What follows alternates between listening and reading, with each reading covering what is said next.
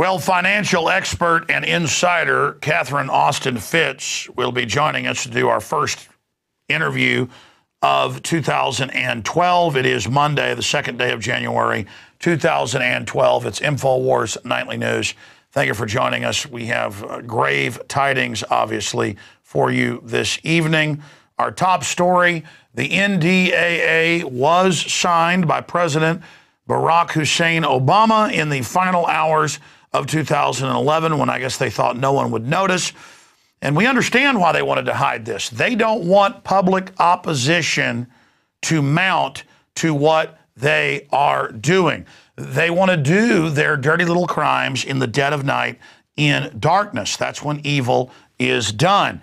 And our report uh, has been at the top of Drudge the last few days, um, but uh, other outlets are also reporting the same thing. Obama's signing statement on NDAA I have the power to detain Americans, but I won't.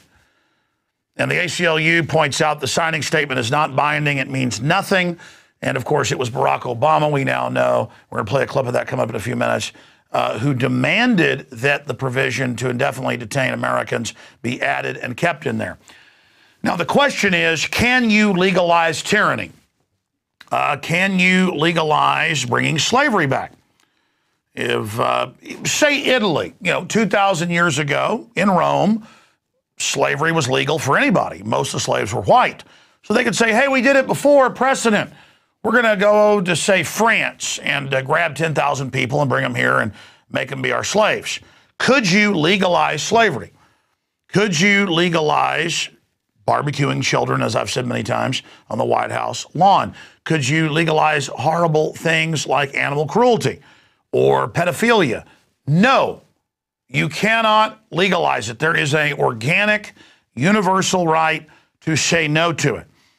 And uh, the former land of the free, home of the brave, that had the most due process checks and balances, now is a leading light of darkness worldwide, uh, or black sunshine, you could call it, uh, to steal a line from uh, uh, White Zombie. That's what we're dealing with here, where they go further than North Korea on paper and say, we'll arrest citizens and have them disappear into a black hole forever. We will torture citizens. We want you to be afraid.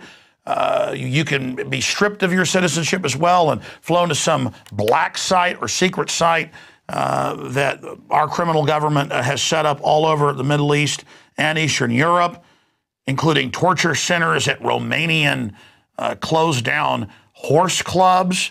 Remember, that came out in the Associated Press last year in 2011. This is legalizing horrors. Can you legalize torture? Can you legalize warrantless wiretapping?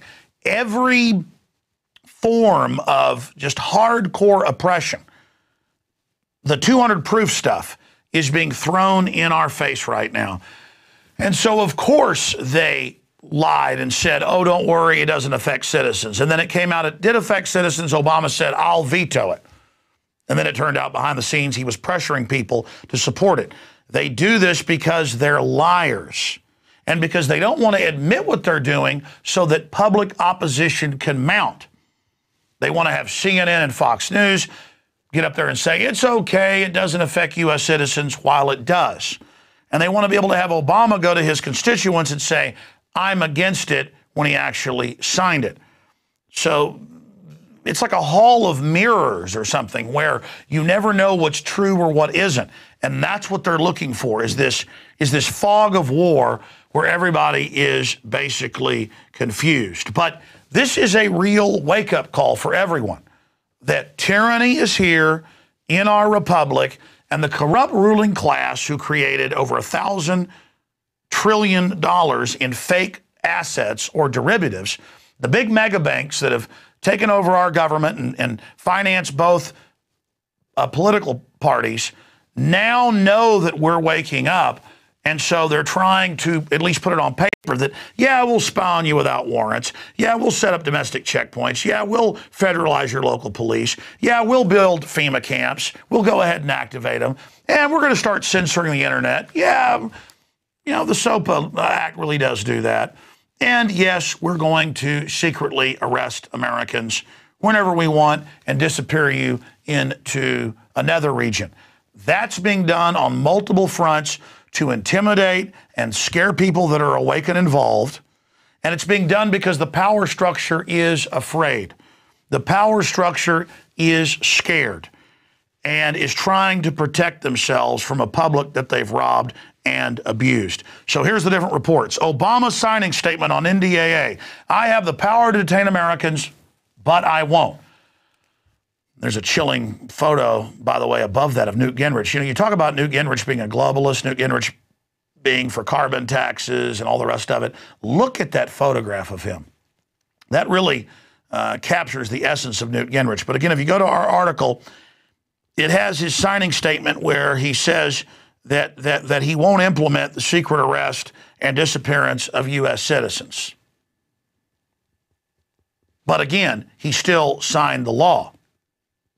He didn't bring in a line item veto, which he doesn't technically have, but which he basically had by threatening a general veto. He, I'll say it again, demanded that the legislation be put in there. Let's go ahead and go to this clip of Senator Carl Levin when he was getting blamed for all this. And he, and, and he does deserve some of the blame. I mean, you can't have these two ping ponging it back and forth like pass the hand grenade and saying, well, Obama wants it, well, Carl Levin wants it. But the point is, he didn't want to get the blame, so he came out and said, look, it's Obama that wants this. And that's since been confirmed. Here it is. And I'm wondering whether the senator is familiar with the fact that the language the language which precluded the application of Section 1031 to American citizens was in the bill that we originally approved in the Armed Services Committee, and the administration asked us to remove the language which says that U.S. citizens and lawful residents would not be subject to this section. Is the senator familiar with the fact that it was the administration that asked us to remove the very language which we had in the bill which passed the committee, and that we removed it at the request of the administration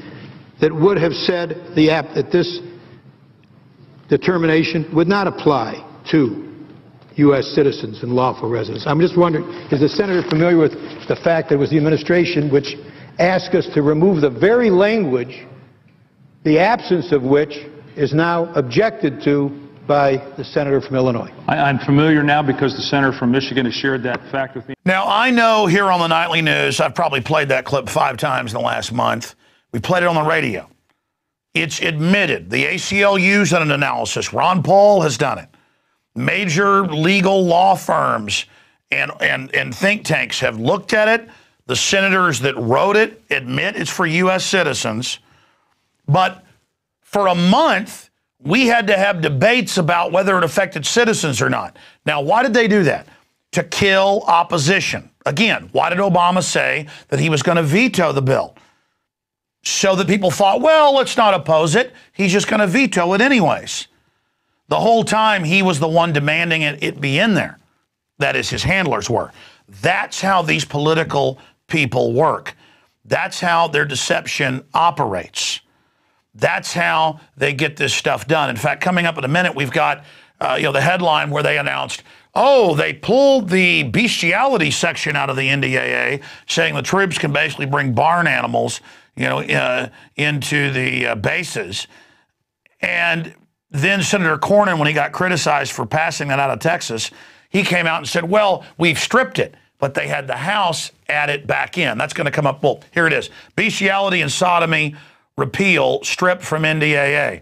Then if you scroll down, they've got a link to the government track uh, site, and they've got the letter from Cornyn saying he had it stripped, but he knew full well and voted later to accept it when the bill came back from the House. And so now it's the law that bestiality is legal in the military. I mean, this NDAA, things just get crazier and crazier every year now. What's going to be in next year's that you can have sex with Martians or ghosts? Or Keebler elves or something? I mean, uh, point is, why is everything getting so weird? Secret arrest of citizens, a worldwide declaration of war, announcements that you can be taken, you know, overseas to be tortured. It's crazy. It's crazy. And it's the end of posse comitatus. Do those of us that were right about the fact that posse comitatus is being eroded in this nation, so that the military can be on the streets of America? Do we get an apology now? This is all coming true? No. Hundreds of publications, CBS News, NBC News, ABC News, New York Times, every day I see articles saying Alex Jones and Ron Paul are insane. They're worried about military on the streets of America. But at the end of the day, I want to state this. They want to keep this stuff secret because they know it's outrageous and they don't want to be publicly rebuked for it. They want to just implement the law, quietly find cops and military that'll follow unconstitutional orders, and they don't want us there the whole time pointing out it's illegal and wrong. Again, it's illegal to pass a law saying black people aren't humans again and are slaves. And it's illegal to say we're all slaves and have no due process or rights and can disappear into a torture camp. So again, this is all a fraud, and tyrants always try to create legalese to rationalize what they're doing. But as a human being, I have a right to say no to it and to decry it. So they're not strong. They're doing this because they're weak and they're scared of the public waking up to them. And because they want to have it on paper that they could start using the military and hitmen and contractors against the American people. Remember, Obama said and has been using these new powers he declared for himself to kill U.S. citizens he claims are connected to terrorists. Well, don't you want to capture them then if, if, if, they have such great intel? Don't you want to give them a trial so we can actually hear the facts? No, they just say they're terrorists, so they don't deserve rights. And now they're saying the American people are terrorists. And they signed this thing on New Year's evening because they're embarrassed of it, showing that they don't want opposition to start being uh, basically ratcheted up against this. Now, I have another report here because this legislation says they can secretly arrest, torture, or kill citizens, but following an older piece of legislation in the previous defense authorization for enemy combatants, they say we won't secretly arrest or kill or torture citizens, but the Secretary of Defense or the President can strip you extrajudicially of your citizenship, and then you disappear to a black site, a torture camp overseas. Uh, in places like Egypt and Romania, uh, these sites have been exposed.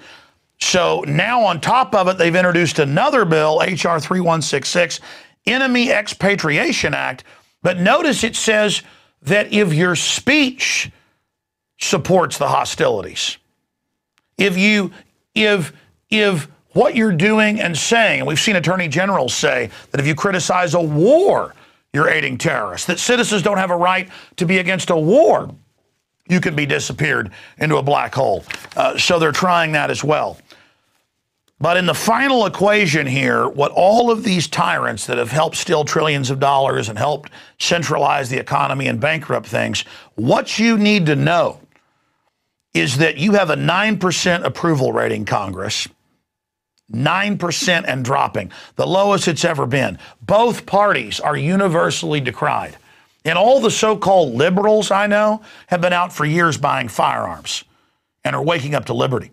What the system needs to know is that the people are voting with their dollars and buying record amounts of firearms as their response to this tyranny. And they're even telling different groups that call and, and do surveys, why are you buying guns? They're telling them because we're worried about a corrupt government. We're worried about a collapse. We don't trust the government. But I'm going to get back to that article in a minute. I want to briefly just finish up with the NDAA with some more clips. Uh, you just saw Senator Levin saying the White House demanded this. That's why we added this in there. You can go to the legislative record and see that as well. We don't just take Levin's word for it. Then we have some of these other clips. We'll just play the clips and then come back and comment on them. And to those American citizens thinking about helping Al Qaeda, please know what will come your way death detention, prosecution. And when they say, I want my lawyer, you tell them, shut up. Your time Don't is Get a lawyer. You're an enemy combatant, and we're going to talk to you about why you joined Al Qaeda. But you read the legislation, it's for the American people, and they admit it is. So it's this idea of Al Qaeda. Uh, so you should be arrested, Lindsey Graham. Uh, you've supported the Libyan attack, and they've now put real Al Qaeda in charge there. And I could pull up London Telegraph headlines and others. Al Qaeda flag now flies over Tripoli.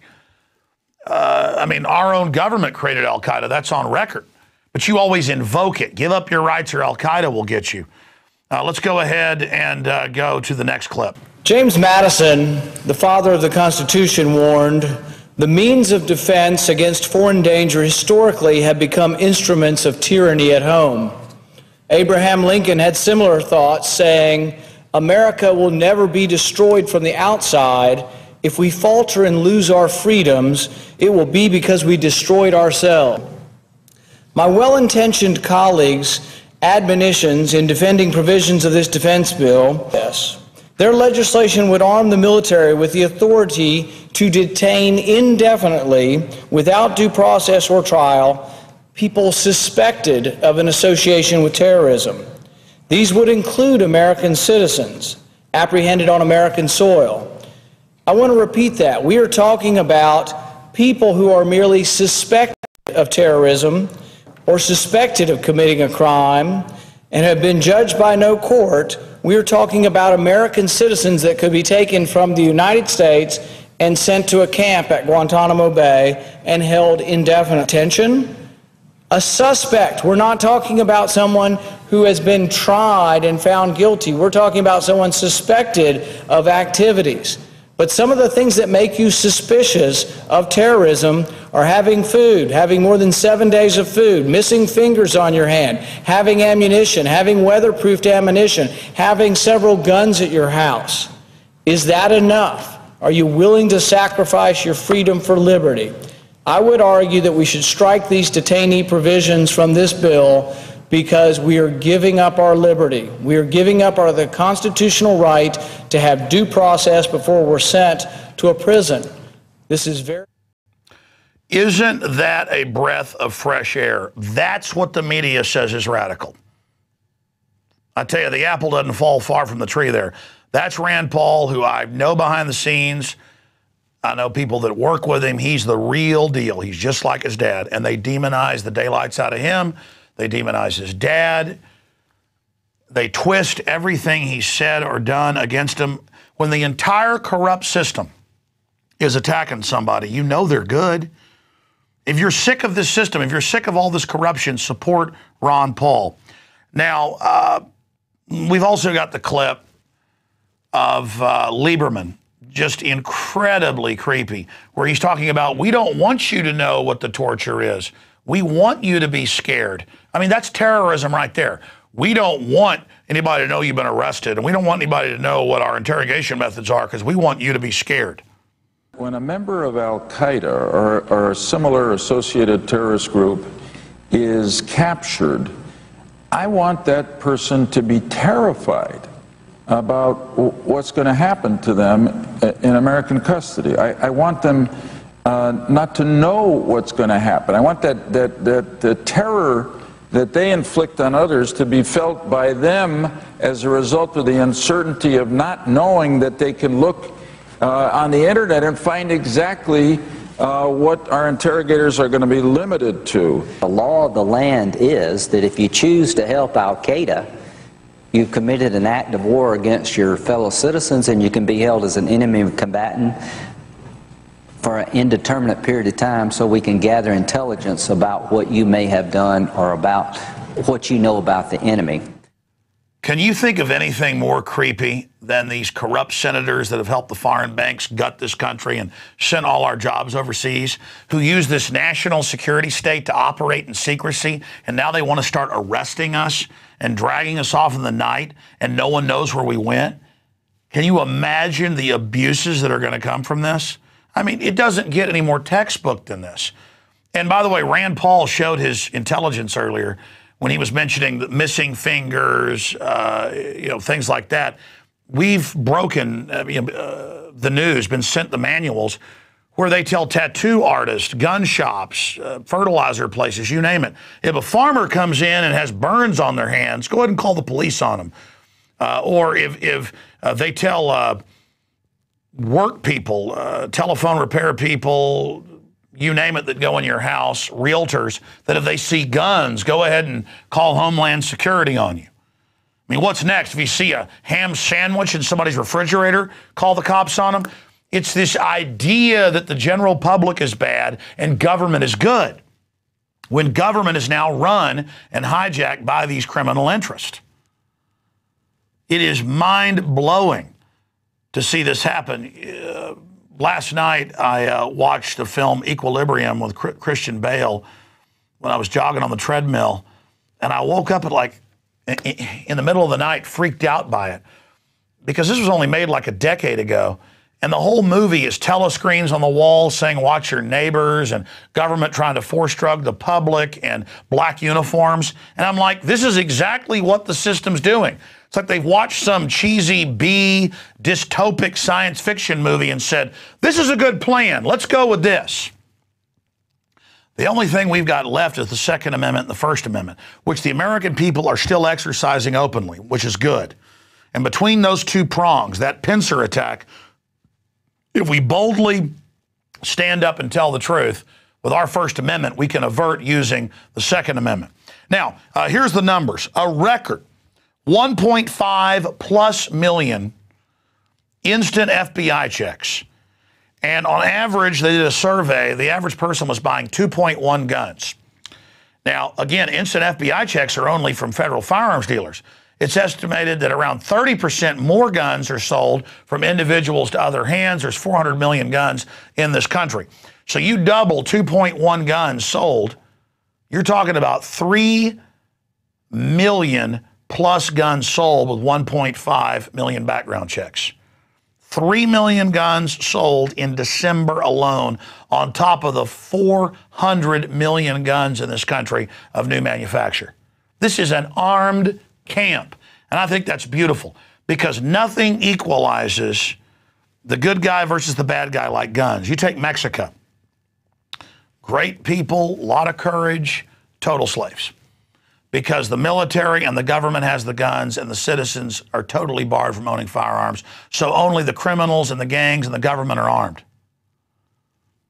The answer here is arming more people as an equalizer. And I saw a national survey last week of why these gun sales were so high. And the average person said government collapse, uh, civil unrest, and they went on to say, we don't trust the government. So, what does that say to the system? The people are arming against the government, just as the founding fathers said we should do.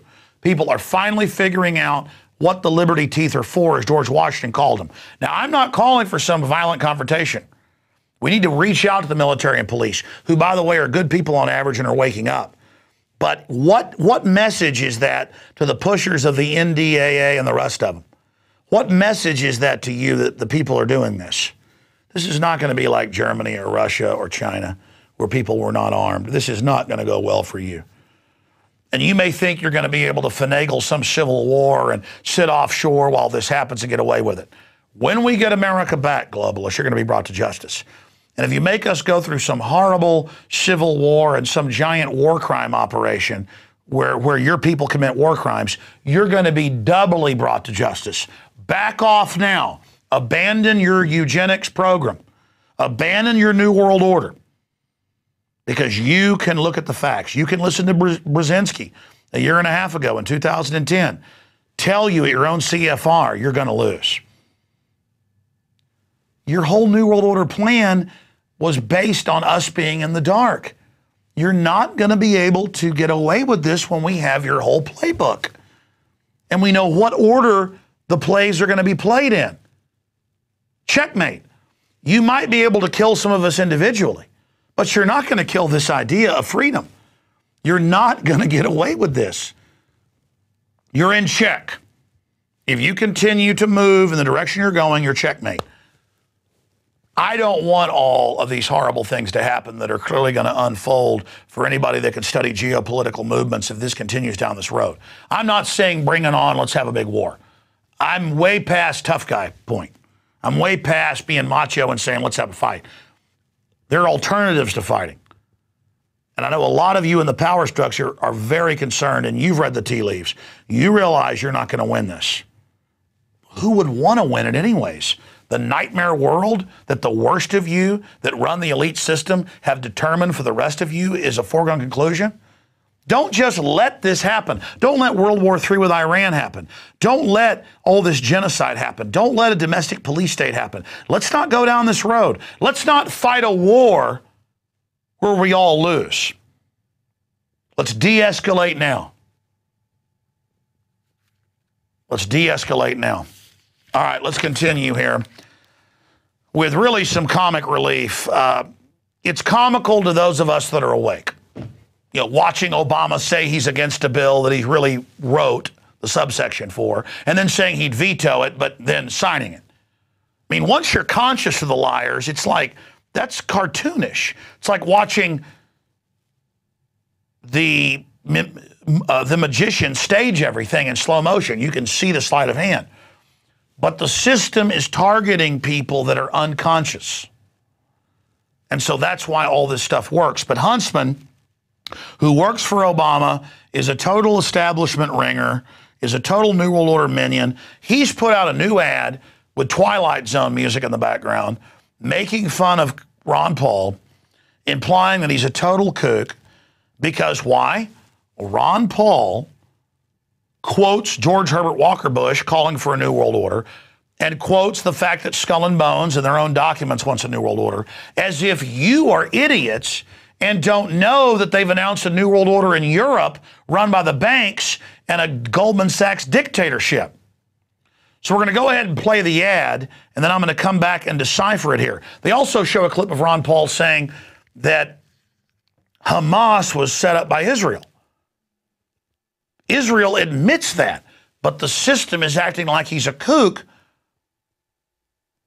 for admitting that the sky is blue or that grass is green.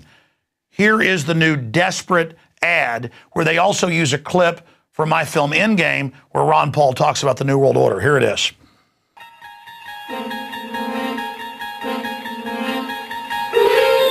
The assumption is that this guy is like your crazy uncle, but you never expected your crazy uncle to get this far. The problem with him is that he's got some very sound points, but then he's kind of I don't know, in other areas, scary. All I can say is, you know. Back it up to when Ron Paul comes. Uh, again, this is just too much. I've got to analyze each piece of this.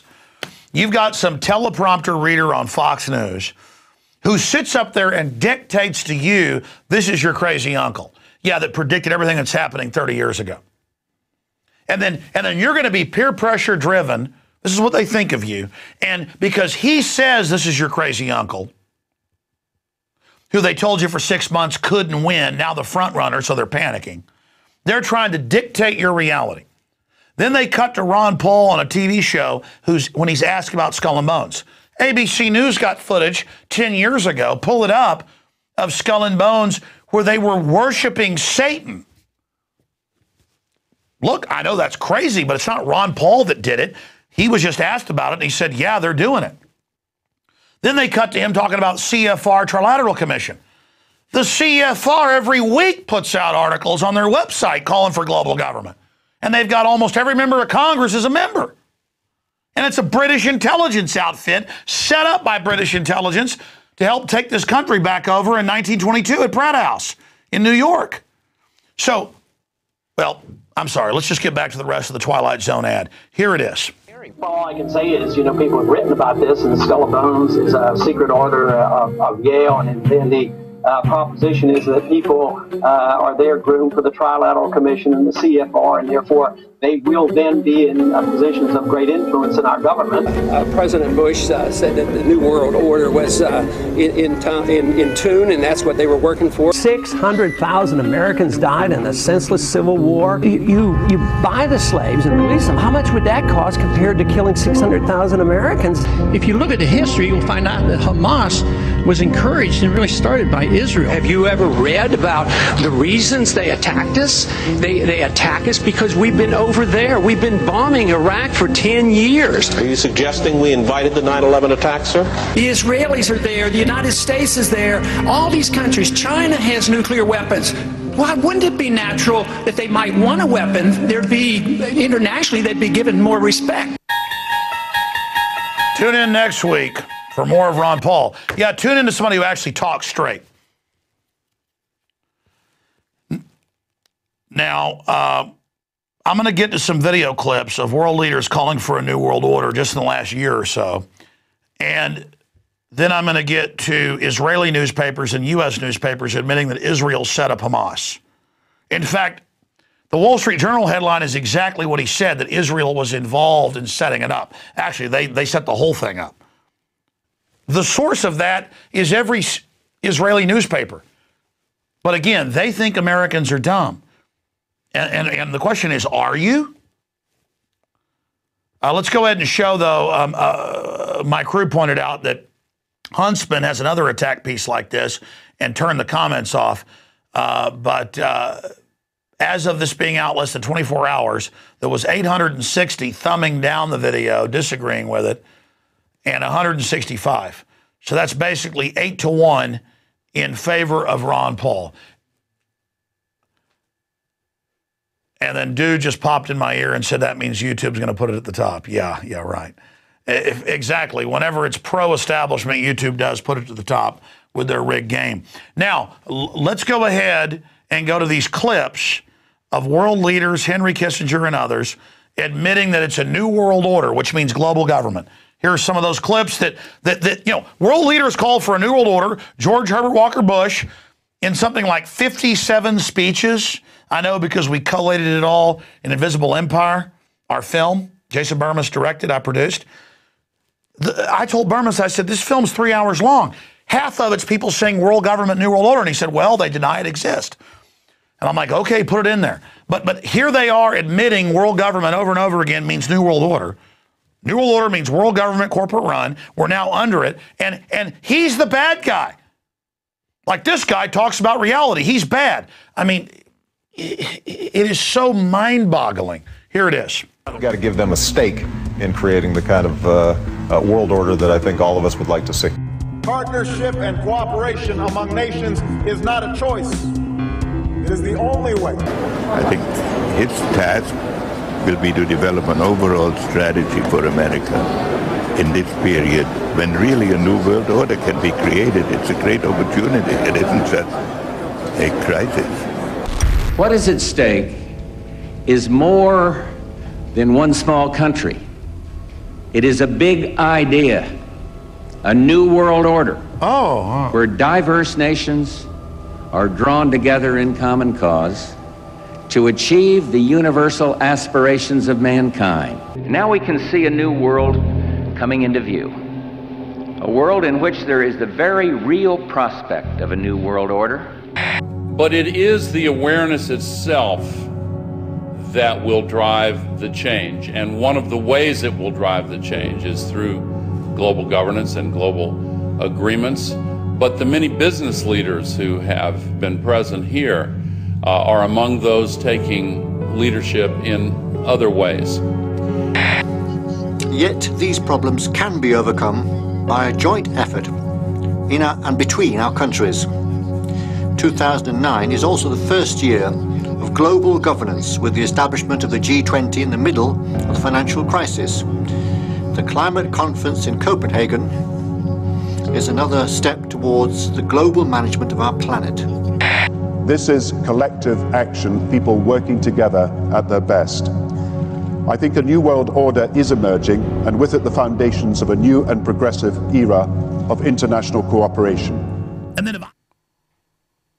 it's going to be another big show tonight because I've got to respond to all this bull.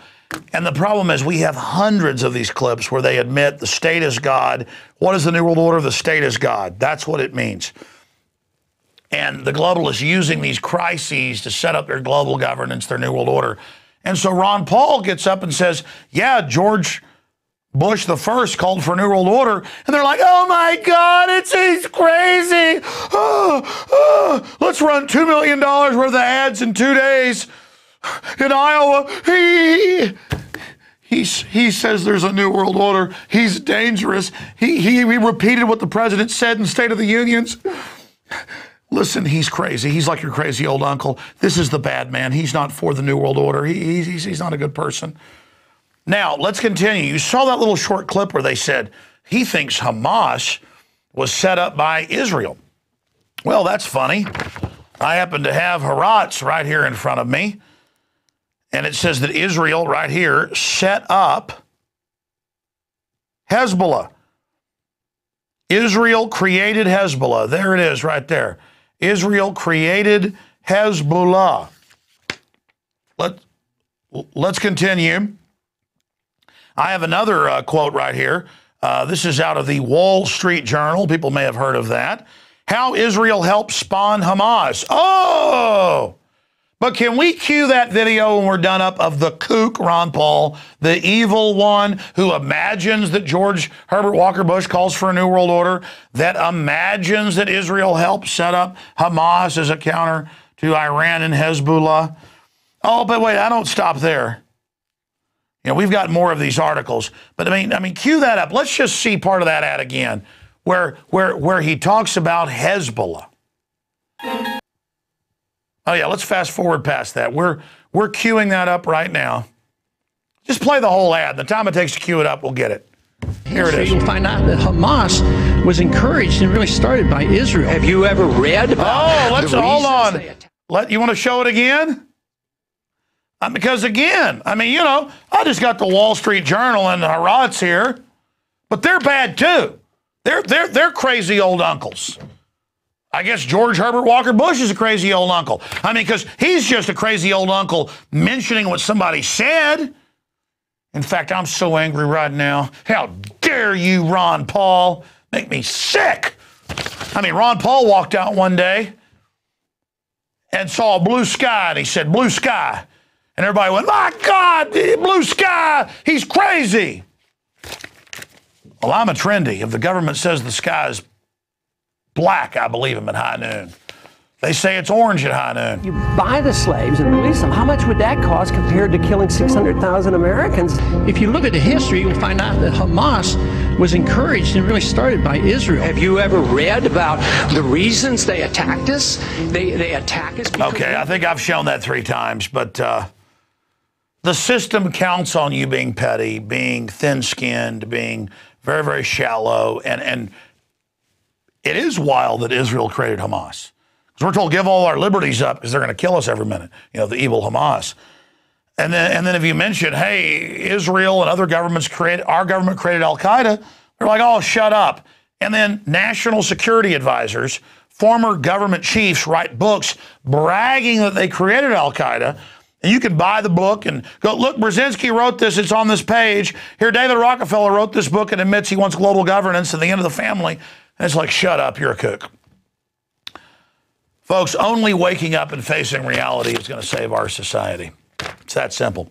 Okay, let's continue on the Ron Paul news. There's a LewRockwell.com uh, article out. Beware of GOP false flag chicanery at Iowa caucuses because Anonymous, another anonymous group the government can basically run, just a cutout group, says they're going to attack. And, and we told you this weeks ago when they first announced it. I said, watch, the government will come in and oversee the caucus vote and will count it at a secret location. And sure enough, uh, it has been announced it will be the votes for Ron Paul will be counted at a uh, secret location now. And uh, if you uh, don't trust known confirmed liars, you must be with Al Qaeda, who works for the CIA. Uh, but let's continue now with some of the other news on the Ron Paul front. Latest Iowa poll has Ron Paul in first place, but the Republicans are going to count it secretly because there was an outside threat, like Hamas, maybe. Um, and uh, latest Iowa poll has Ron Paul in first place. But doesn't matter. Politico, when he's in first place, came out and said he was in third place. And they waited till the media, the controlled whore media, all ran with Ron Paul plunging before they corrected it and said, sorry, he's in second or first, depending on how you look at it. Uh, and they just said, forget that whole situation. That's at Infowars.com. Politico botches poll results to downgrade Ron Paul. Kind of like people botch bank robberies when they get away with the money. It's all accidental, of course. But uh, here's another one U.S. civilians are now helping decide who to kill with drones. This is all part of people 10,000 miles away, zit face, hot pocket eating tech heads now get to kill whole wedding parties to kill one quote terrorist who never got a trial. And so they're getting humans completely out of the military. It's all just going to be drones killing people at a distance, including American citizens. The absolute, total, and complete cowardice of it all. Now we're going to go to Ron Paul's uh, final ad before the Iowa caucus. Believe Ron Paul releases closing argument ad. We're going to get to that in a moment. But first, I want to get to a report that's been several weeks in the making. And uh, that, of course, is the terrorism death stats. Because I know it's fun, like a campfire story, to sit around and have granddad when you're seven tell you about the boogeyman while you're roasting hot dogs. But the boogeyman isn't really real. Governments killing people, though, are. The, the, that's the real monsters. I understand it's fun to get into fearing the Muslims and getting all scared and everything, while the government leaves the borders wide open and ships Muslims in faster than you can, uh, you know, say supercalifragilisticexpialidocious. But I thought we would just compile some basic numbers here so that those of you that get all upset and tribally worried and are willing to give up all your rights and have your children secretly arrested and gang raped at Abu Ghraib to keep you safe from Al Qaeda that our government created and Israel created Hamas.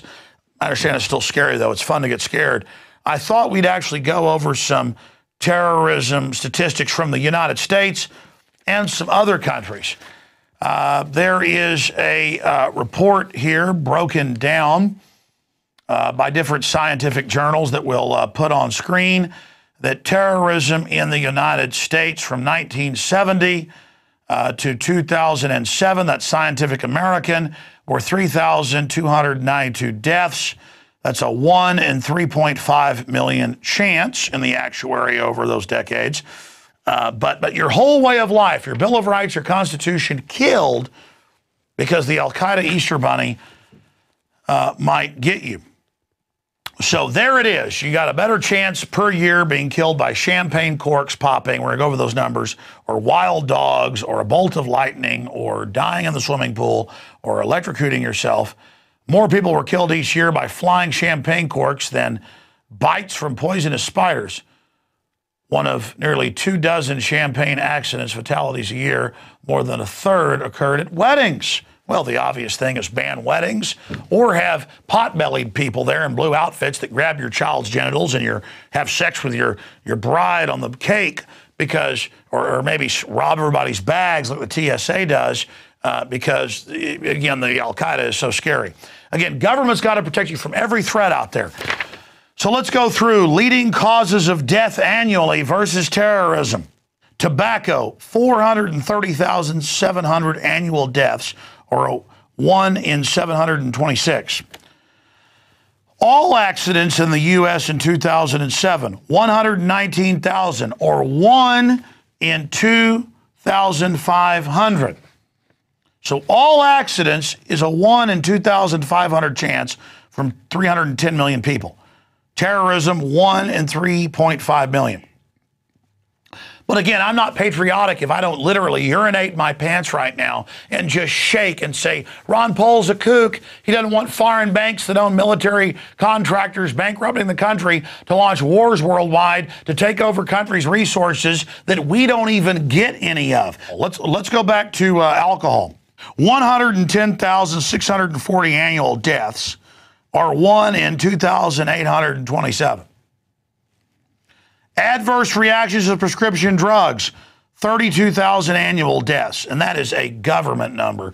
The numbers we've got, it's 300,000.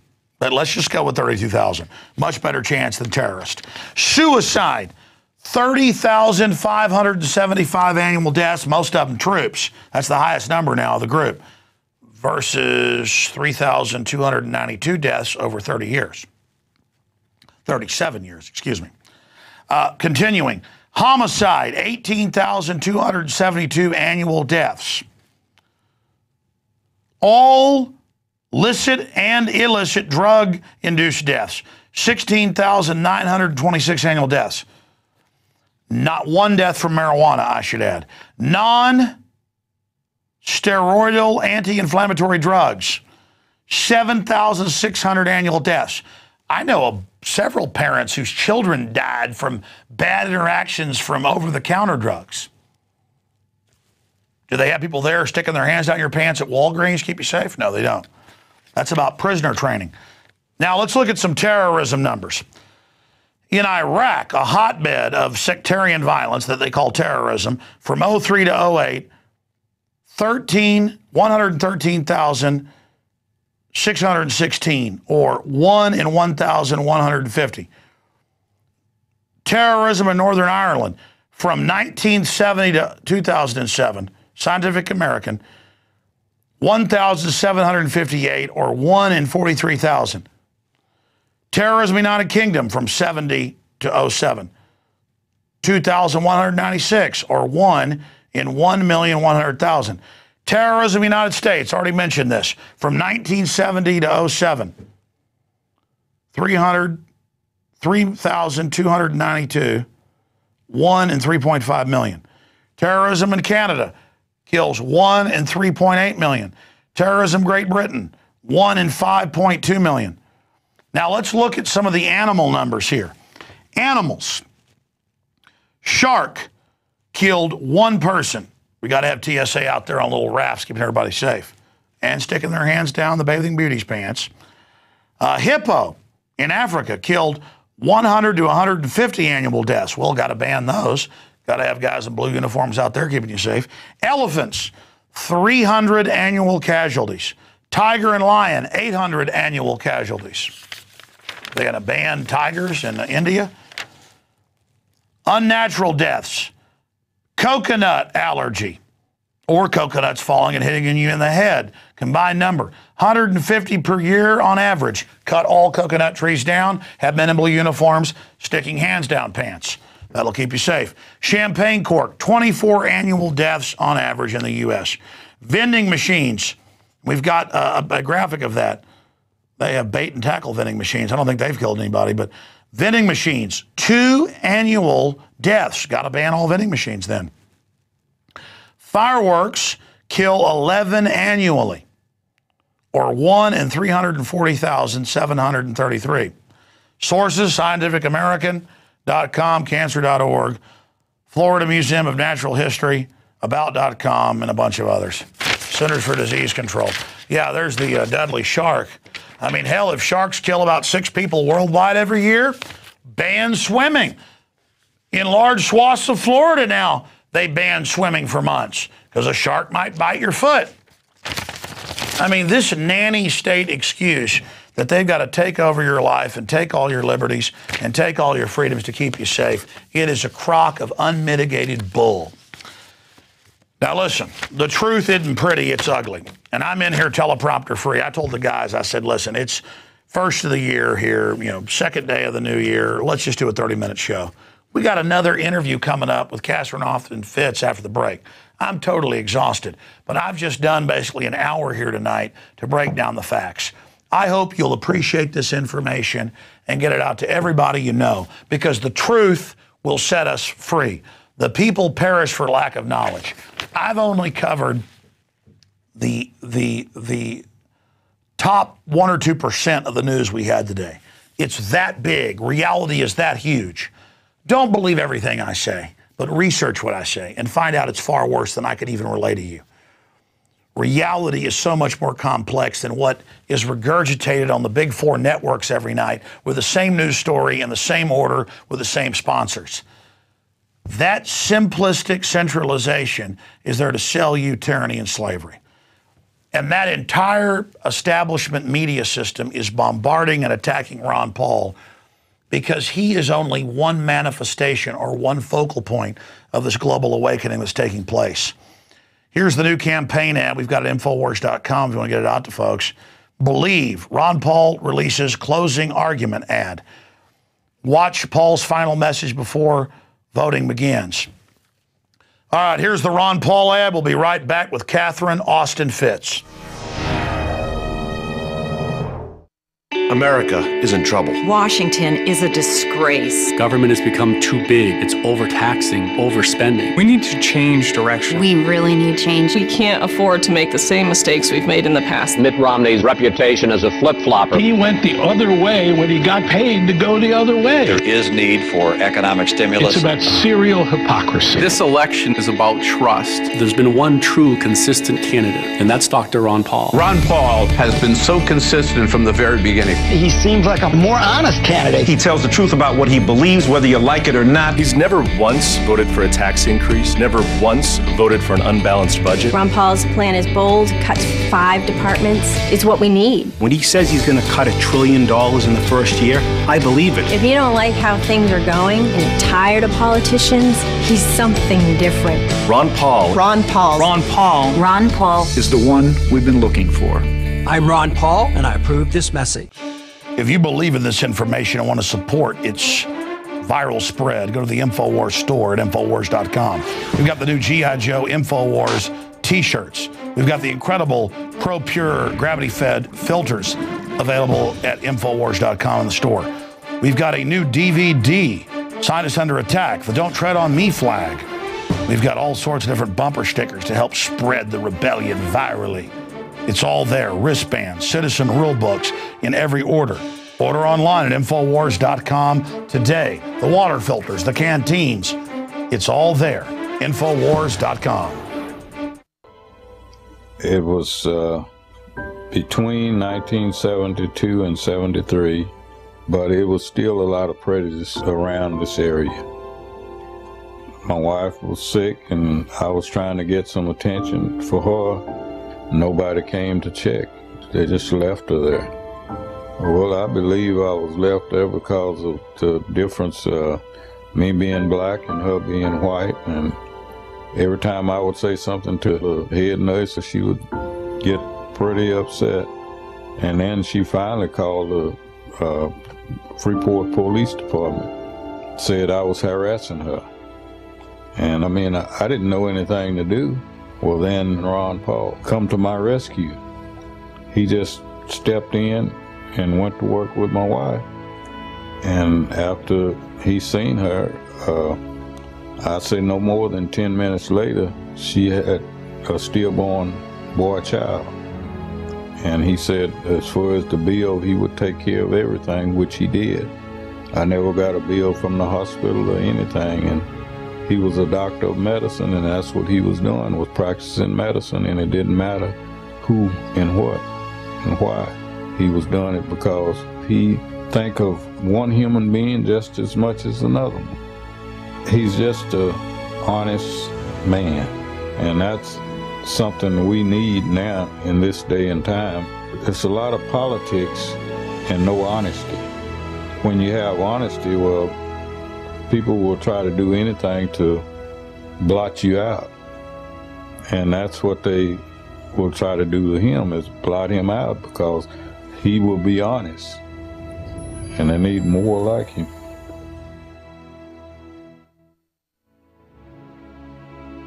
Click here to donate to help get James' story broadcast on television.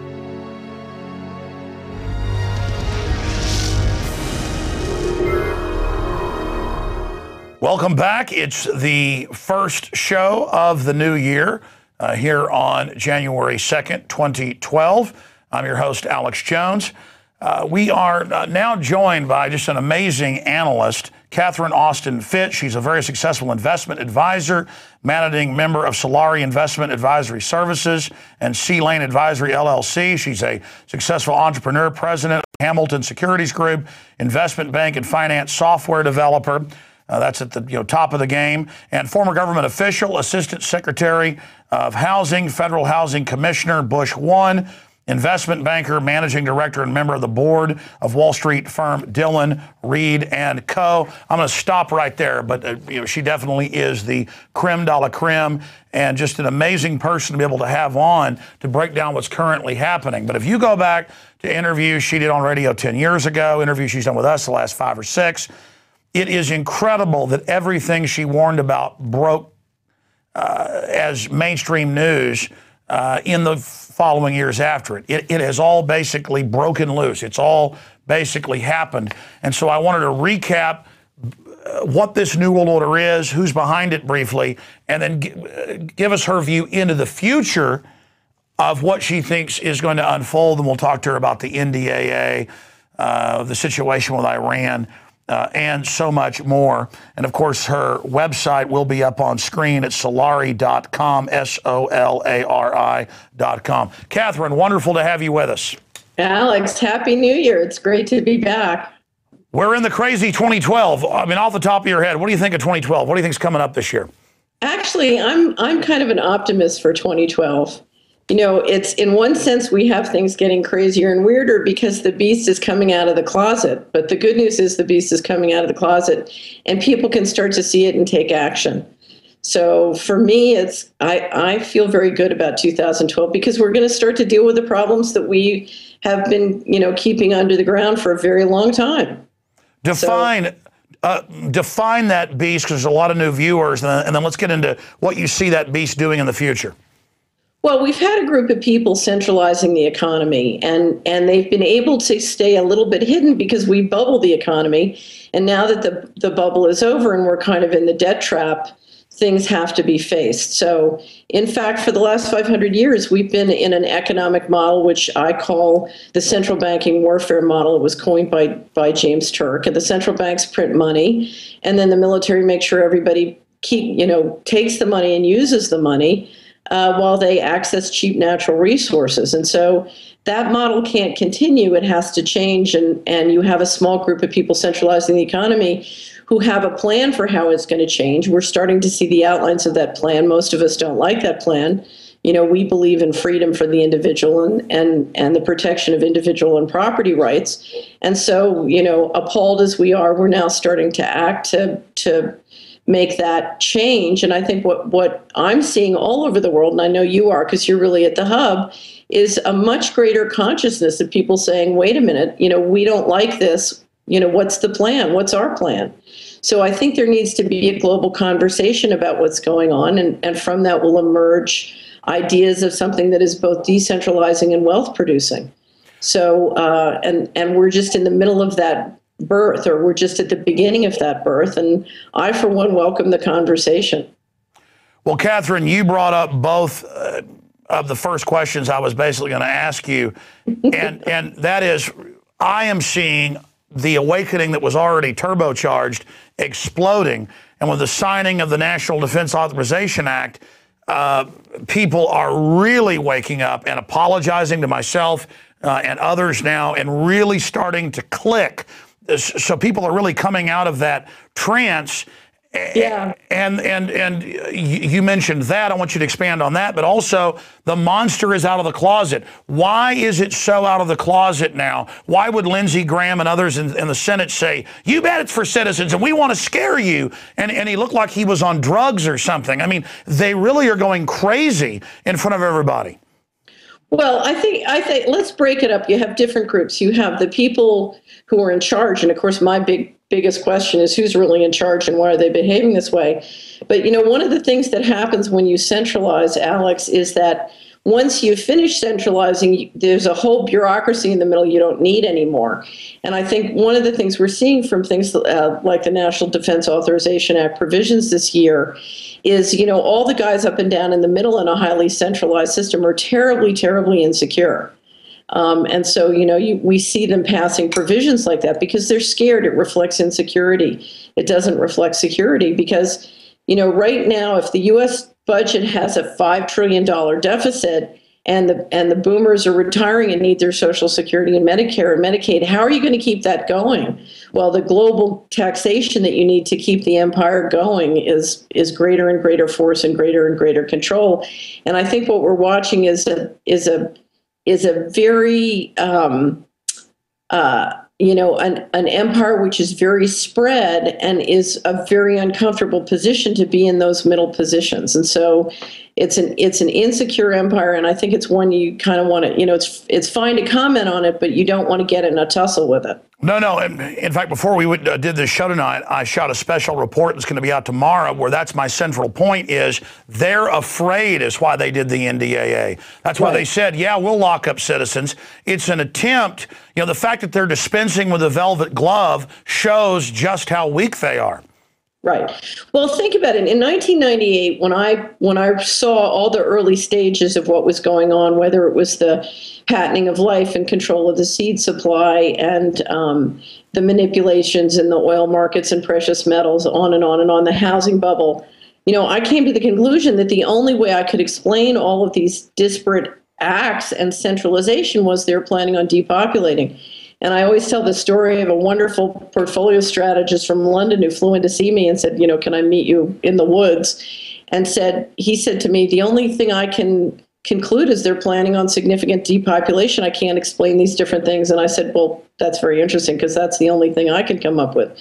But at that point, I came to the realization that I had to be prepared to live, you know, through a period where, in fact, that might be happening. And I think, uh, I think one of the reasons they're afraid is if as people begin to realize what they're doing with the food supply, with water, with chemtrails, whatever, and you come to that realization, you know, you can get pretty ornery. and I remember when the swine flu, you know, vaccine came out, that's when I decided, okay, I'm drawing the line. That's that's when the guns come out. And you know, this this is a country that's highly um, highly armed and highly ornery.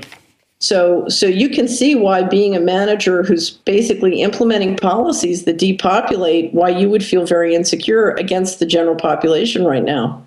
Well, you are always right at the zeitgeist. That's what I covered before you came on with us tonight. Record gun sales, uh, probably around 300 million. They're not sure. There was 1.5 plus million in the month of December instant checks. That's only part of gun sales is through the regular uh, system. And they estimate that the average person bought 2.1 guns. That's 3 million plus guns bought in one month. All the so-called liberals I know now realize the government isn't their friend, run by mega corporations. They've all been buying guns. And I'm not right. saying that's the answer to everything, but at an instinctive level, the people are arming to the teeth because they and, and they had a survey out last week. Uh, they were saying, "Why are you buying guns?" And the most common answer was co- imminent collapse, social unrest, and the government's criminal. Uh, right. So, so they've. I mean, it's really a bunch of desperate Ceausescu types like Romania up there saying, "Fine, we'll just arrest you all." But if they actually try to march the military and police off against the people, that's not going to go too well. Well, in fact, and I, I don't, you know, the, the one of the few groups I'm not afraid of right now is the military because, you know, one of my questions is if things keep going the way they're going, do we run the risk of a military coup, not because the military are being bad guys, but because the system is so irresponsible?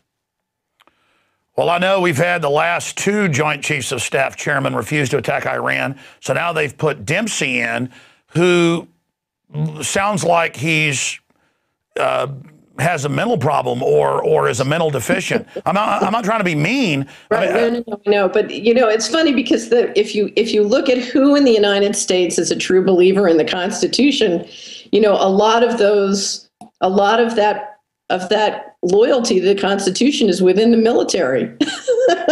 so we're in a funny situation where the civil leadership is not committed to the Constitution, but a lot a lot of the people in the military are. And of course, the military, the funny thing about the military, Alex, is they have to deliver. And when the political leadership spreads them this thin, that's a very a nerve-wracking position to be in because you're you're responsible for the whole thing. And make no mistake about it you know you bring down the dollar fast overnight and you can crash the whole globe. So um, well let's talk about that then because you've got the military as you know, giving more donations to Ron Paul than Obama and all the other dwarves combined on the Republican side. That's got to worry the system.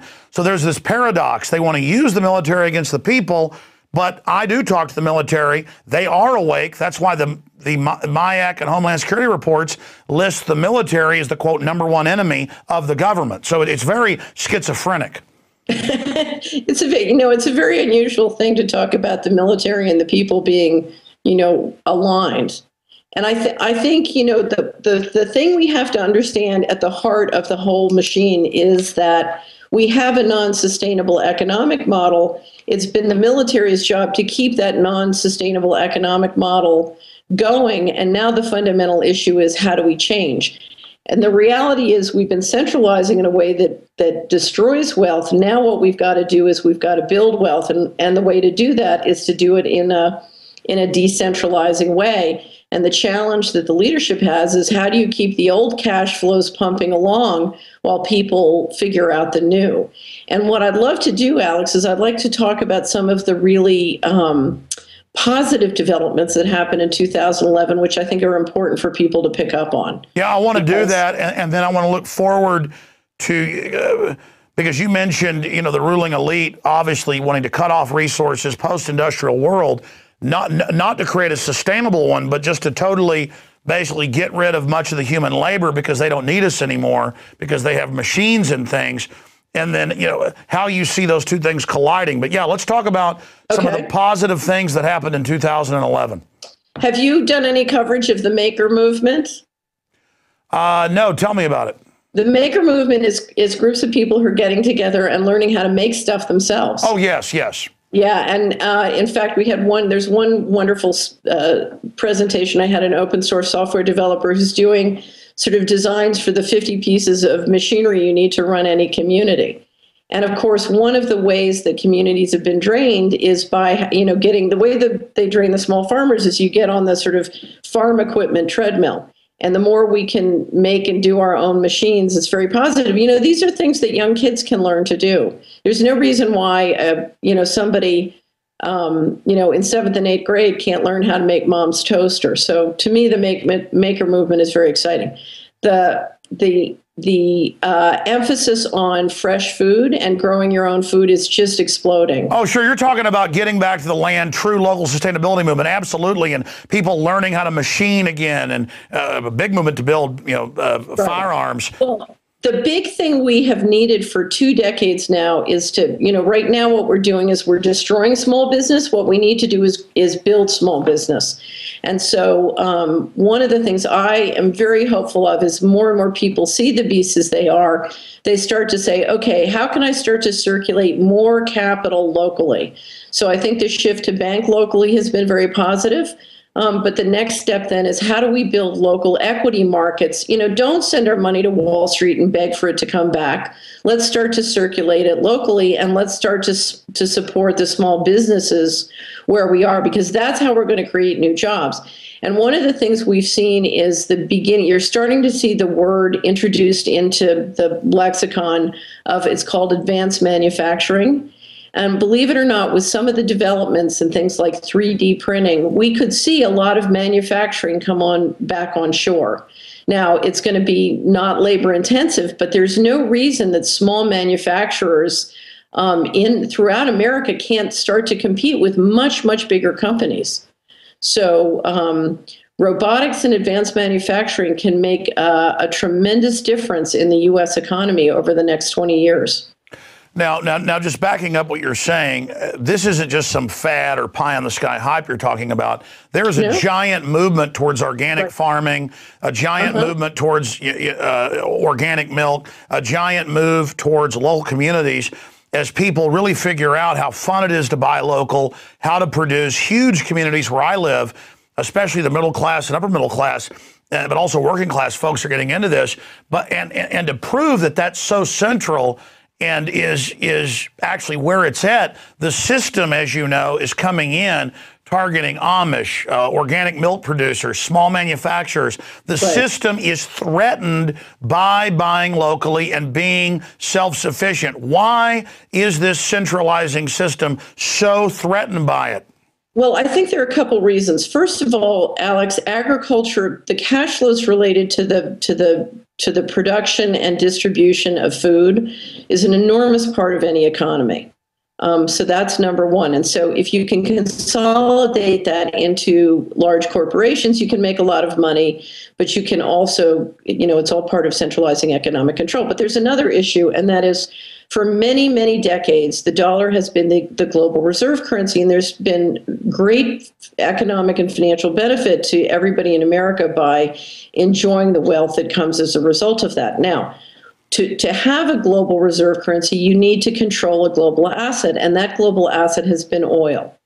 Um, and I think one of the reasons you're seeing such a move to control the, the seed supply, to patent life, to control the food supply, is because if we're going to have a new global currency, we need a different asset than oil, particularly because energy technology, we know that energy technology exists that can replace fossil fuels. So if that energy technology is going to see the light of day or practical application, then, then you need something else to replace the bolster. And that's why they want to go to GMO.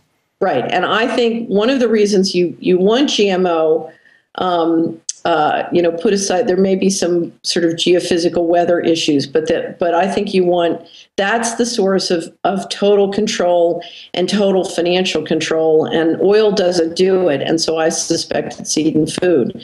Now, if you look at what that does in terms of, of centralizing the economy, it's devastating. So many small farms have been put out of business in this country, not because they're not economic or productive, because in fact, technology, Alex, should decentralize, not centralized the way it's been used. It's because of the food safety rules.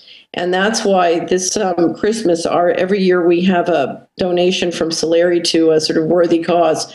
Our donation was from the Consumer to Farm Legal Defense Fund because at the heart of freedom, um, there are a couple of legal issues which are at the heart of freedom, and one of them is absolutely defending the right of um, of farmers and consumers to get together and eat whatever food they want. Sure, there's an all-out assault against lemonade stands, Amish farmers, people selling tomatoes on the side of the road, as you know, uh, because it is right there at the heart.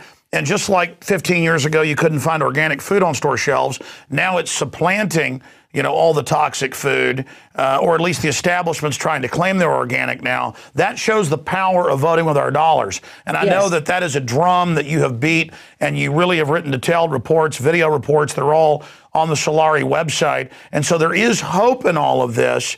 Uh, shifting gears into a few of the other solutions. Okay.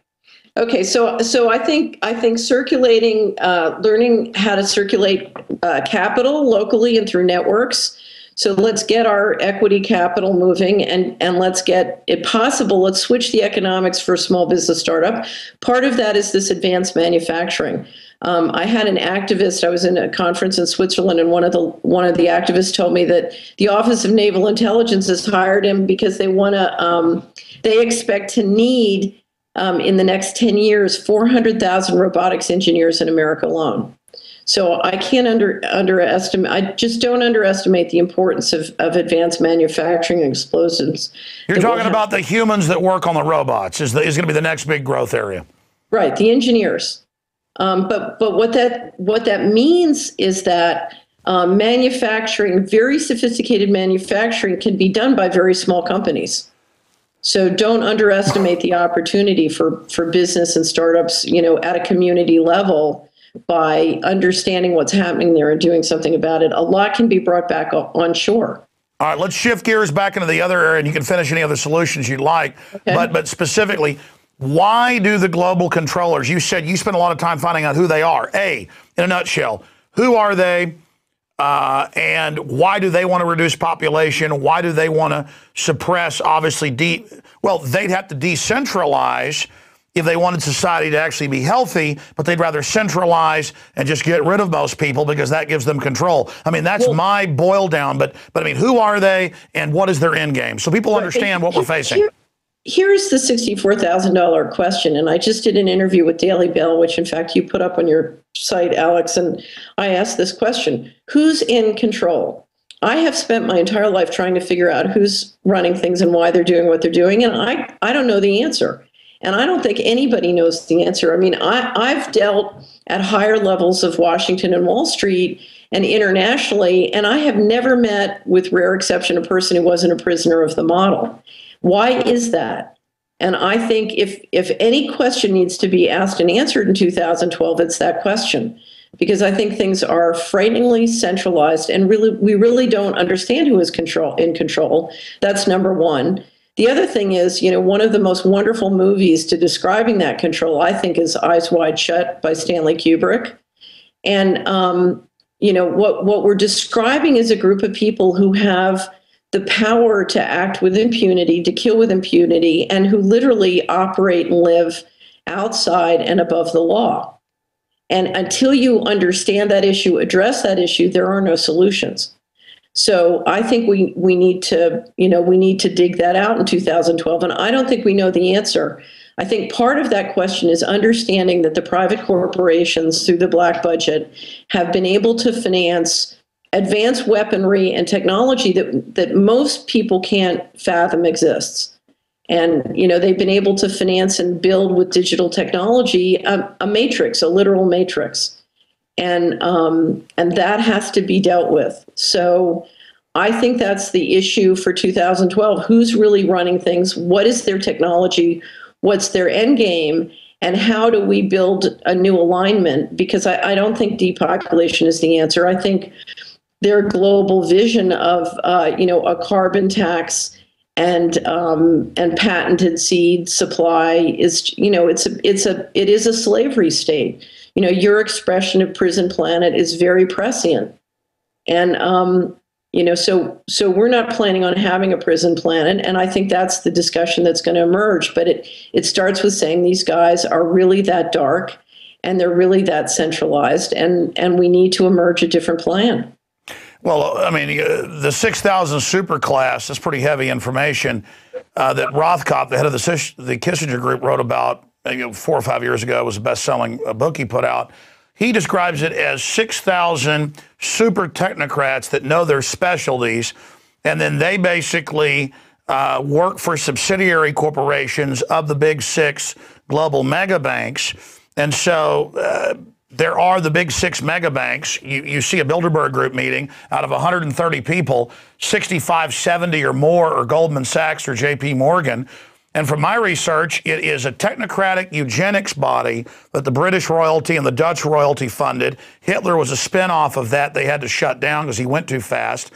And you've got these mega banks that then finance a centralization model and the cosmology excuse for just being predatory psychopaths is well there's too many humans. That's just kind of the the rationale. But then they, they don't even really follow their larger plan. It, it, it, it's just mainly a giant system of domination. Well, but but let me mention a couple things because there there has grown up in the bubble of the last 20 years an arrogance that there wasn't before but to the extent that I've dealt with the people in that group, I've found a great deal of enlightenment and a lot of fine people who also felt that they were a prisoner of the system. And what I will say is that I've found the corruption to be ubiquitous, it's everywhere. And, and what you see at the top level is a real fear of people at the bottom level and not believing it's possible to come into some alignment, which is also financially and economically sustainable. In other words, they don't see a way to stay in a leadership position and get us from here to there. No, so I get it. I mean, I get it. Uh, every revolutionary is a secret aristocrat. That's their view. they they think that anybody who's fighting their structure just wants the power. And there are, and there is the unwashed masses, and there are a lot of terrible people in the blue collar, white collar, you know, uh, mid and lower levels. I get all that. It, right. and, and, and then so the ruler's view is we've got to go ahead and be dark and evil so we can control it because there's something 10 times worse waiting if we don't. And I agree with what you just said.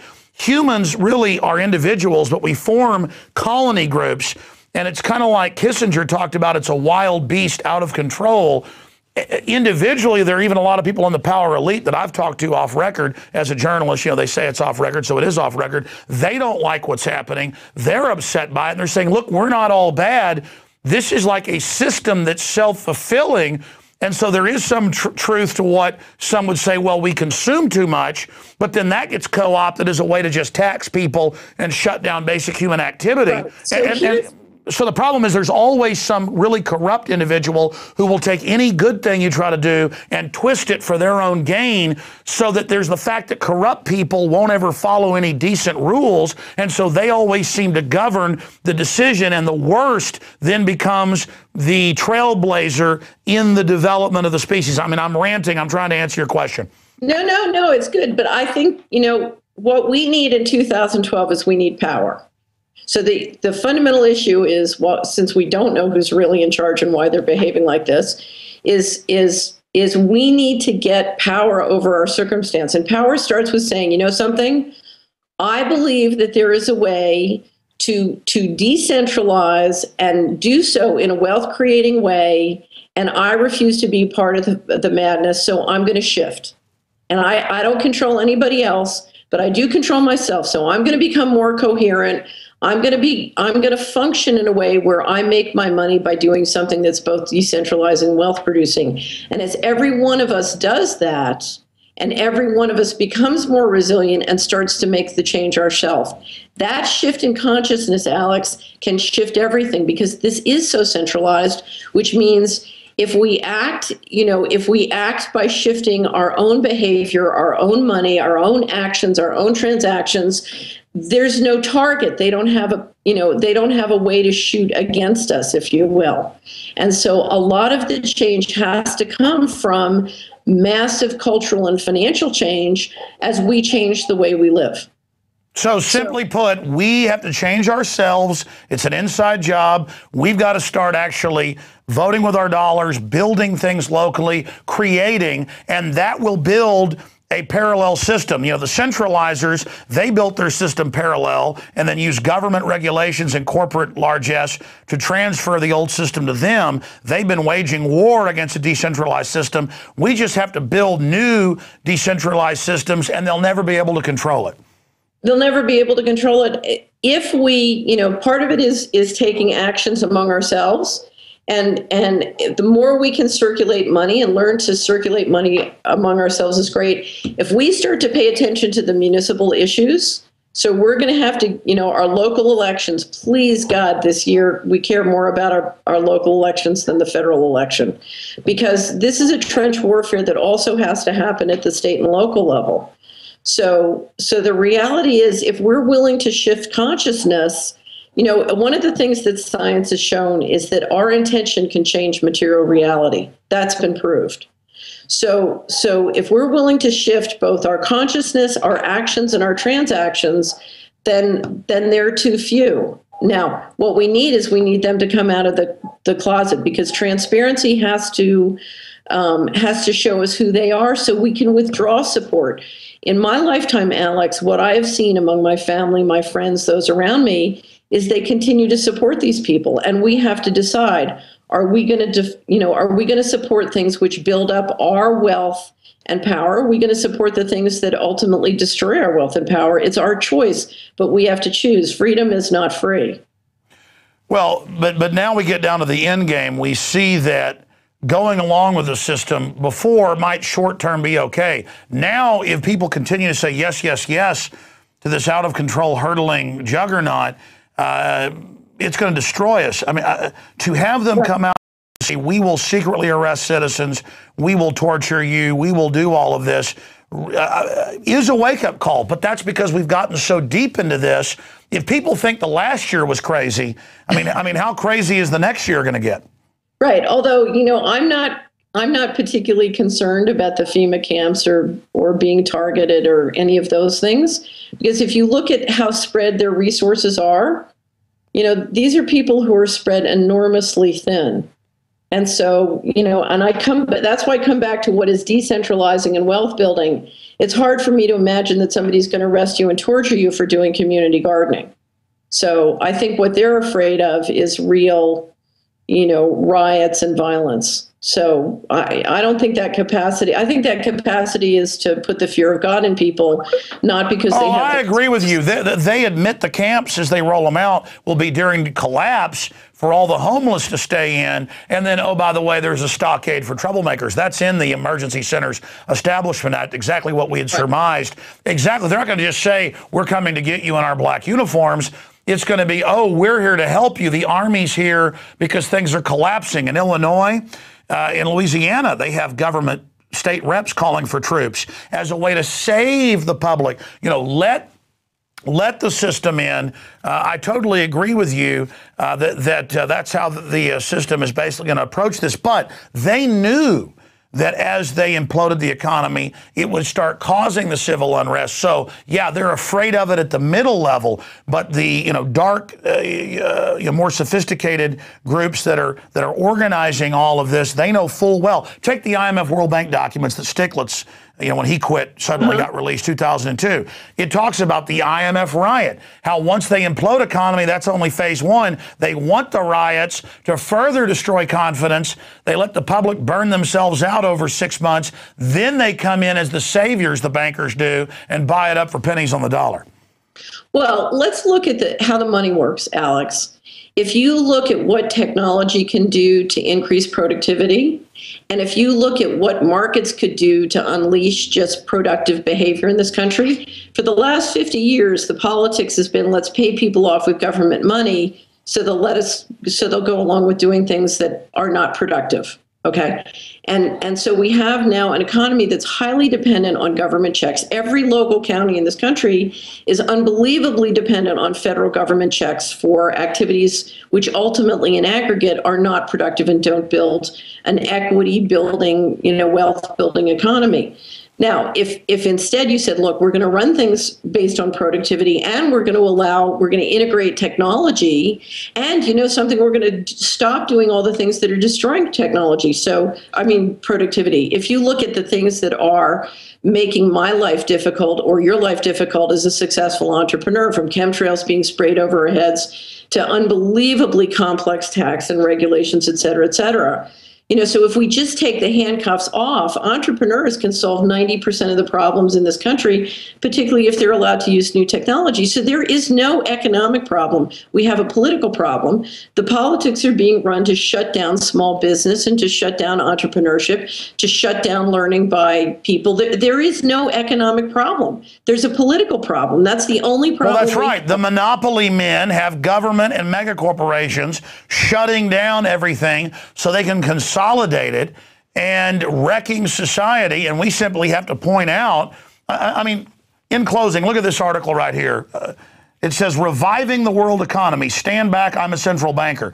And it shows a patient on the table, so I guess a famous Rembrandt, and but uh, but uh, now he's got defibrillators, and of course it's you know the joke on the people looking at it is it's it's a dead body, but he says, "Stand back, I'm a central banker." But you read the article, they imply the mega bankers are the ones that are going to fix this and that Larry Summers is going to fix it when they're the ones that got rid of Glass-Steagall. They're right. the Ponzi scheme operators who want to get everybody in debt to the stuff that they produced out of nothing. And now the whole world is held hostage, signed on to their garbage. But here they are in their own publications selling themselves as the savior. And so it's a propaganda war. We've got the truth, they've got yeah. the lies, but but but it, it isn't working anymore. I mean, earlier I played a clip of Huntsman uh, putting on an ad making fun of Ron Paul, mentioning that that George Herbert Walker Bush called for a new world order. There is a new world order. I mean, they can't just ridicule us anymore. It isn't working anymore, Catherine. It's called the break it, fix it. I break it and then I fix it. Then I'm the hero. yeah. right. So I agree it's not working, but the, the, the first step to real solutions, Alex, is when a broad group of, of, and it's not activists who get it, it's the people on the line. Make no mistake about it, the people who run this country are the people who get the trains out, you know, the people who keep the pipelines going. It's the people who do the day to day business of operations in this country. They're on the line. The reasons the unions had such a powerful impact is they changed the rules of what was going to go down on the line. And, and what has happened in the last year is the people on the line who really run things day to day, the engineers, the doctors, the lawyers, you know, the the the baker, the you know candlestick maker. People, right. Those people have started to realize this is perverted and nuts and we need to do something. And that consciousness, when the people on the line decide, hey, wait a minute, you know, I was in Tennessee once, and the head of the Tennessee Firearms pointed out um, that the number of gun permits had just passed the number of people who were the you know the voting population. So so we're talking about a change of consciousness on the line, which is very you know those people are very quiet and and very you know they're they're just dealing day to day, taking care of their kids, taking care of their job. When they decide to change things, they have unbelievable power, and that's what we're going to see go into impact in 2012. I agree, and here's what I hope in closing. I pray that great, firearms are wonderful. I'm all about the Second Amendment. I'm all about defending ourselves if it comes down to that. But I'd rather not just sit back with the guns and the ammo as like our emotional salve. Uh, and you know that well if it ever comes to it you know i'm ready to go down a blaze of glory as you said i'd rather put the effort out now to create new industry new media new farming new communications new new cultures based on liberty that will be so exciting and sexy compared right. to the automaton New World Order Borg that everybody joins us. And we're seeing that right now with Ron Paul. We're seeing right. that across the board that that that really we are on the right track, and that's why the system is panicking. But in, in closing, I want your comment on that. What message should that send to the establishment? That this isn't intimidating people, Lindsey Graham and and uh, uh, you know people like Senator McCain and Senator Lieberman shooting their mouths off about yeah we'll torture citizens and snickering like like old warlocks on the Senate floor. Th- that is the people I know. It's not scaring them. It's a waking them up, and they're out there buying firearms. And and and and so I don't think like Ceausescu in Romania. I don't think these old wicked men understand that they're only pissing people off, Catherine.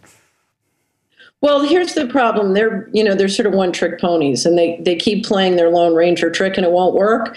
But there are younger people inside, and they're seeing the positive things go on, and and let's hope they can find ways of aligning and supporting them, whether it's, you know, whether it's the maker movement or whether it's crowdfunding or whether it's, uh, you know, there's a lot of positive things going on, and so it's but it's going to be trench warfare, Alex. It's going to be fought out by getting the, the proper sheriff. It's going to be fought out at the municipality. We're going to have to get into the courts. This is trench warfare. Well, you're right. And uh, what? There's an 8.2% turnout in local county elections nationwide. And Travis, oh, no. yeah, yeah, eight. 8.2 and nationally it, it, it varies but it's normally about 55% turnout in the presidential because they make it sexy they push it because it's always been controlled. Now with Ron Paul, they're going crazy because there's an okay, actual. So, so let me give you a suggestion. If you want to shut down the New World Order, it's very it's very easy to do. 3,100 counties shut down the drug business, the illegal drug business, and the and the mortgage fraud. You know that's that's the source of a lot of their financing. You shut that down, you shut down. It's a it's a whole new day. No, I agree. You decriminalize drugs. Uh, you right. you uh, you, you know, as you said, all of this. But, but I mean, my point is, if we just shifted and got 55% to get politically involved locally, then we would take things back. People complain in Austin that we have these kind of neoliberal fascists running things, but 8%, we have the 8% uh, are voting. What do you expect? You've got to get involved, but not just vote, you've got to run for office. Yeah, but here's what I find, Alex, because they have the ability to kill and bribe with impunity. I mean, we just gave them $12 trillion. So, so what I've seen at the local level is most people can be bought off relatively cheaply or scared. And I think that's why I think this shift of consciousness is so important because it's going to have to be a group effort. It, it can't just be one guy trying to get involved and getting picked off. We're going to have to we're ha- going to have to way to go about the local effort without getting picked off and bribed and tricked. Because the the dirtiest game I've seen so far in this country is not the guys at the top it's it's the local New World Order representatives enforcing, you know. No, I totally, I totally agree with you. And of course, not just bribed or bought off or threatened, tricked is the key. They'll give right. somebody some little petty position that's a rubber stamp, and the average person isn't sophisticated enough to know that. Uh, right. Yeah. Well. Uh, yeah. Well, so, for example, if if we can stop smart meters, that's another one. Stop smart meters um, because you know once they have a surveillance device on every home, the politics are going to change. And you know that's another point. The average person doesn't know they really do track everything you do. It really yeah. is a surveillance system. Yep, yep. That's that's the core. One of the core competitive edges of the guys who are centralizing is they have incredible intelligence on all of us that we pay for. So we pay for for all of their intelligence and database tools on tracking us and using that information to advantage themselves against us. And they have us, as you said, pay for it in the price of the cell phone, the, the power bill. It's always built as a Trojan in the device. Just like when you use Google, you think, oh, I'm getting information. No, they're getting information on you. Well, I, I suspect one of the reasons they're worried, uh, you know, that, that the provision is in the Defense Authorization Act is as, as this consciousness continues, Alex, how are they going to get people to continue to pay their taxes? Because if the government is operating significantly outside the law and we're coming into tax season on April 15th and people are really hurting, you know, that's going to be a dicey one. One of the things I would love to see on April 15th is everybody just file an extension and say, you know, we're angry. Let's see how the election goes. We're filing an extension. And that way it's an extension, but but but it's six months, nothing's paid. Well, you ha- you still have to pay your estimates, but I think if a large group of people just did that, it would show their power. It, it would certainly it would certainly send a message. Well, look, they must be getting desperate now. They admit, yeah, we want to censor the internet with the SOPA bill. Uh, I mean, it's wild. Catherine Austin Fitts. Uh, what's the best website for people to visit? Solari.com slash blog is my blog. I post every day, and we're, we're basically focused on what can help you build personal and financial wealth. All right. Solari.com. Thank you so much for spending time with us. Thank you, Alex. Again, Happy New Year. Happy New Year to you. All right, that was an extended first kickoff uh, of the new year uh, interview with Catherine Austin Fitts. Very thought provoking information. Um, look, 99% of us or more that live here in this country and on this world, the U.S. and England are the global model of tyranny uh, and the takeover that is now happening. Your children, your grandchildren, but but but but but you personally are going to be affected by what's happening. This is a very ruthless, very dark system. And, and, and it's all about making you dependent on that government job or that corporate job that's dependent on government contracts. And it's all about making you destroy somebody else or suck off somebody else so you can survive. It is a predatory, vampiric, uh, the best term I could use would be cannibalistic system. It's a system that destroys and contracts instead of builds. Because a, a, a, a, system that's building, where everybody can actually have unlimited wealth through technology and through ideas, that decentralizes. And that threatens the globalist. The globalist, with their sodium fluoride in the water and their deadly vaccines and the GMO. I saw an article today where you know trans fats are causing brain damage. Of course they are. That's an artificially you know created thing. It's designed to hurt your body. Uh, all the stuff is. This is just so ruthless. And these controllers have decided to tie in to maximum evil and go all the way so that they are ensured total domination. It is a scientific dictatorship. But the minute you face the full horror of what we're dealing with, and that it isn't a screw up and man, they're idiots in government, those are just puppets in government. The controllers are not idiots. They know exactly what they're doing. The minute you're aware of that, the minute you realize there's no way out of this but defeating these people, and to do that, you've got to get educated. You've got to get informed. You've got to get out of their system. You've got to get awake. And you've got to reach out to others and unlock them. Once you flip the blinders off somebody, you're not telling them what to think. They're seeing it for themselves. And I love that bumper sticker, you know. If you're not mad yet, you're not paying attention. I want to say great job to the crew. We did four or five months of the TV show starting last year, I guess in September, September 1st. Uh, so September, October, November, December. Yeah, four months of the show. We're now going into, uh, I'm a little kid counting on my fingers. We're going into uh, uh month number five here, thanks to your support. And you uh, that are members of prisonplanet.tv, uh, that pay the 15 cents a day or whatever, you are then financing building a larger structure, getting more reporters, engaging in more analysis, more research, more investigative reports, and the transformation of this show into a really hardcore news show and other shows. And currently, this show is grabbed off prisonplanet.tv, where you, the member, see it first, and uh, posted on YouTube and other channels. And hundreds of thousands, if not millions, a week um, see the show. And this is just phase one. The radio show that took me 16 plus years to build, it's reaching 3 million a day. The websites are reaching over a million a day. We're re- reaching more than 15 million people every week. This whole news division of what we're doing will also grow very quickly to that level thanks to your support. So there is no place where there's a bigger bang for your buck than, than funding our operation and, and going to Infowars.com and buying the books, the videos, and the rest of it. Because of what you're doing, we're building something here very, very special that is at the very tip of the spear, the very cutting edge of this, this, this process of awakening and shattering this whole fake left right paradigm and, and really boiling it down to liberty and tyranny, centralization versus decentralization. This is a bold experiment. And it is humanity and our species struggling against a group of aberrant humans uh, who are basically operating like a cancer in the body politic and who threaten to destroy our entire civilization. We've got to race in there and face them down and get in their face. And like she said, quit caring, uh, quit caring people say or do, uh, and just engage the corruption at point blank range. And know that there are other people doing the same thing in your area. That's why it's so important to wear your colors openly, whether it's an Infowars.com shirt or a Ron Paul shirt uh, or a bumper sticker, so that you get, get, get to begin to see how many other people around you are awake as well. Then you're not alone anymore. And you realize that our numbers are growing exponentially. Okay, that's it for another teleprompter free edition of the news.